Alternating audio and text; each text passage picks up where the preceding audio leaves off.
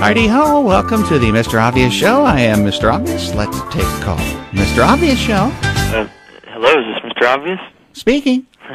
Hey, Mr. Obvious, long-time listener, first-time caller. Uh-huh, I appreciate the call. What can I do for you? Well, Mr. Obvious, I'm having problems with my wife, and for the life of me, I don't know what to do about it. I, I think she's having mental problems. Well, caller, that can be very serious. Let me remind you that I'm not trained in psychology. On the other hand, though, I do know a little something about human behavior, so I'll give it a shot. Thanks, Mr. Obvious. Uh, uh, so here's the thing. I, I think my wife might have a split personality or something. Hmm. Uh, I mean, sometimes she's, she's so nice to me. She praises me to high heaven, and then uh, other times she's just unbelievably mean. Now, caller, from time to time, I've found that people will experience mood swings. Could be caused by stress, a physical problem, a chemical imbalance, or it could be, pardon my French, her time of the month, What, what do you mean her her time? her cycle.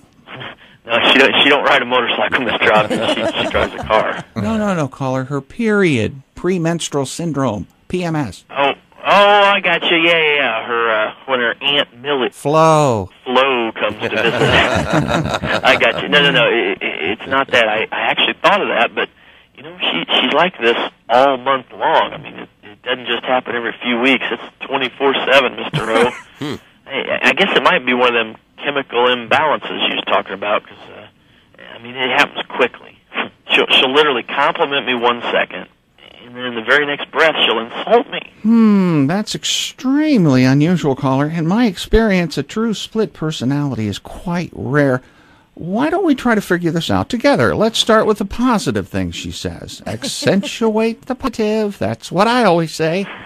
Great idea, Mr. Obvious. Uh, uh, well, well, sometimes she makes me feel real special.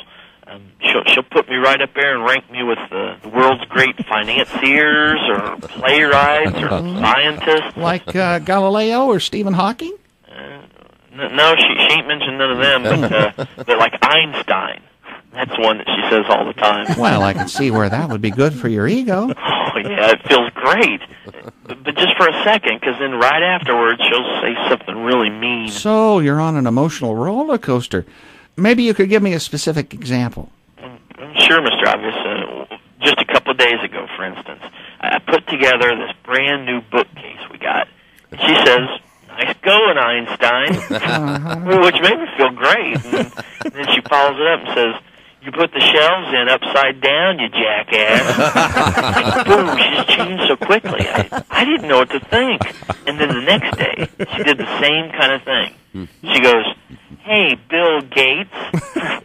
The bank just called, and we're overdrawn again, you Nimrod. Uh, I'm beginning to get the picture. yeah, she's now, crazy. Earlier when you said something about her comparing you to famous playwrights, were you talking specifically about Shakespeare, as in the phrase "nice play, Shakespeare"? Mr. Obvious, that, that's exactly what she says. nice play, Shakespeare.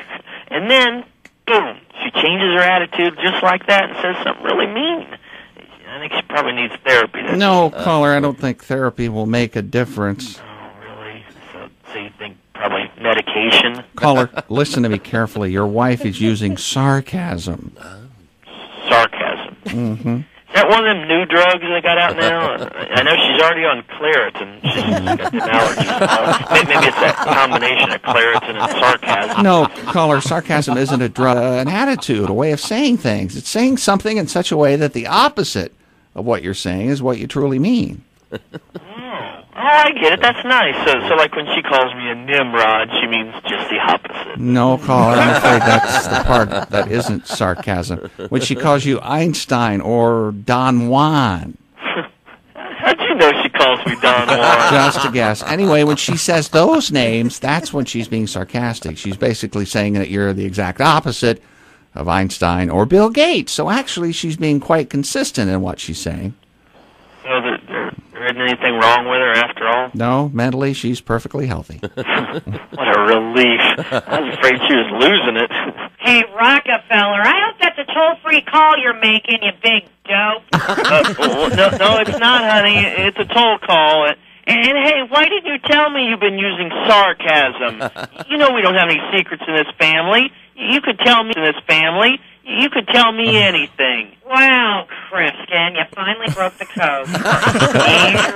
Nitwit. Uh, Mr. Obvious, when she calls me Kreskin, Yeah, she means just the opposite.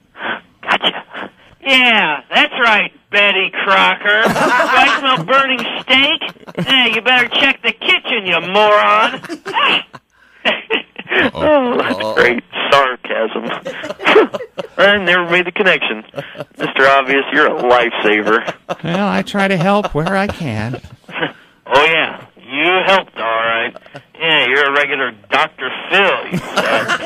Uh, caller, sarcasm has a time and place, and I don't think this is it. Oh, I'm sorry, I was, I was just practicing, Mr. That's all the time we have for this week's Mr. Obvious Show. Thanks for listening.